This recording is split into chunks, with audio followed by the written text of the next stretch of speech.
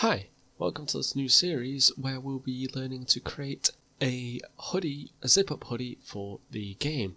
So in the next few episodes we'll be creating the hoodie garment in Marvelous Designer. Then we'll be going through retopologizing it using either ZBrush or Topogun. And then we'll finally be texturing it using Substance Painter. Okay, so in this first episode we'll be going over the creating the main body of the hoodie. So to get started we're going to want to use the create garment tool and the one that will allow us to create as many points as needed.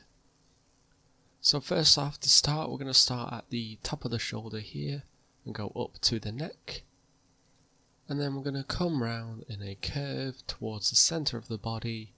And then we're going to go straight down. And I'm going to go just a bit below the hips I'm going to come back out just a little bit further to add some bagginess to it. And then I'm going to come up to just below that arm and curve round back to the shoulder. And that's going to create the basis of our outline. Now what I'm going to do is left click this, control C to copy it, and then right click and use symmetric paste and symmetric paste is basically a mirror modifier, so anything I do on this side happens to the other side.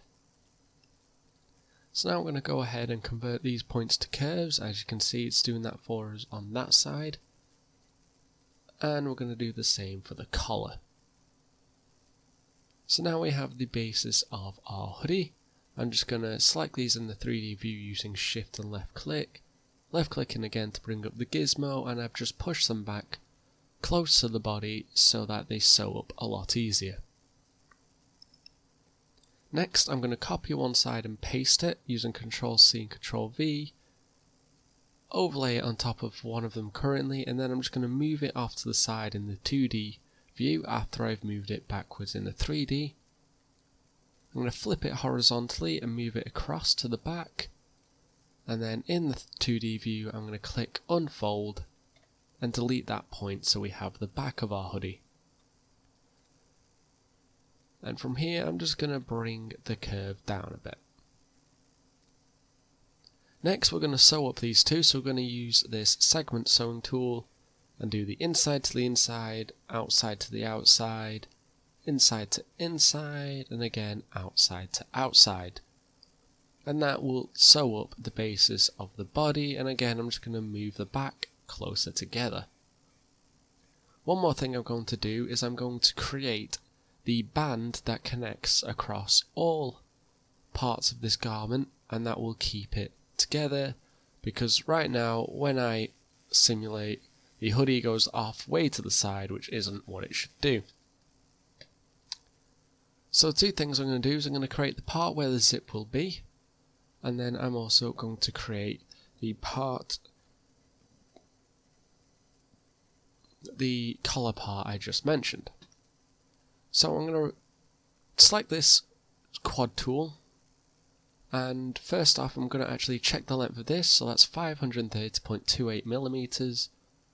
Left click and it will bring up this box. So 538.22 that should be in the height sorry. And then I'm going to go for a width of about 10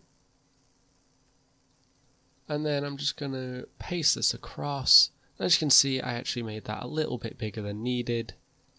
This is 538, that's 530 point.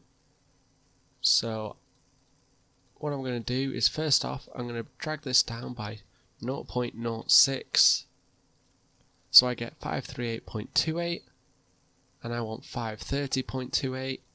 Now I can select the bottoms, drag upwards right click and I can tell it the exact distance to move and there we have it. Now they're in line. And we're just going to sew these two together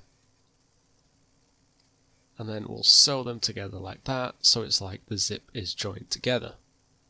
Next thing we need to do is calculate the length this bottom lining needs to be. So I've just deleted that point to give this one long edge and all I'm really do is going to bring a calculator out and I'm just going to add this together. So 431.89 plus the two tens we have of that collar, which I can just add without looking. And then we can add 215.94 and then add another because it's symmetric. And the length of this band needs to be 883.77. So we get our quad out, we go 883.77, and a height of about 40 worked out pretty well. For this, I'm going to drag it back, flip it horizontally, and I'm going to st stitch it from the backwards forwards, just so that it's easier to manage. So we're going to start off from this side, and we're just going to check which side goes to which. Okay, so the left on this side is actually the right in the real side. As these are symmetric though, we can just start by doing split into two lines and we're going to have it start at 10 so that this will join straight up to that zip lining. Then we'll need the 215.94 so we'll split again. 215.94 for the shorter line. 431.89 so 431.89 then we need our other 215.94, 215.94, and that leaves us with 10 left over. And like we said, it's mirrored, so that one needs to go there, then this to there. Okay, so now we'll do the same for that one. And we will stitch that together, and it's looking like the seams are crossing, um, but that's because it's all going to curve round together. And we're just going to make sure that one's right. Yep, but I think the one on that side is wrong as it did cross. So you want them to cross in the 3D view, not the 2D view, sorry. Should have made that one a bit more clearer. Going to move these two collar lines down. And for ease of use, whilst we're stitching the first bit, I've stitched that zipper together. And we're just going to let it do its thing once it's all the way around and curved like that, stitch the ends together and it's all zipped up like the hoodie.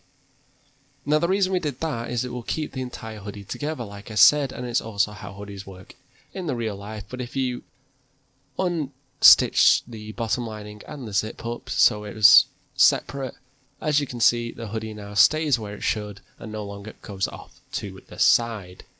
Okay so that will be it for this part of the tutorial in the next video we'll work on making these sleeves. So like the video if you liked it, dislike if you didn't like it. If you want to see the next video then stick around and hit that subscribe button and you'll be instantly alerted to when it's available. If you have anything else to say or any questions or just general chit chat, leave it down in the comments below or hit me up on Twitter which is at sam underscore ba underscore jones 97 and I'll see you then. Thanks guys. Bye.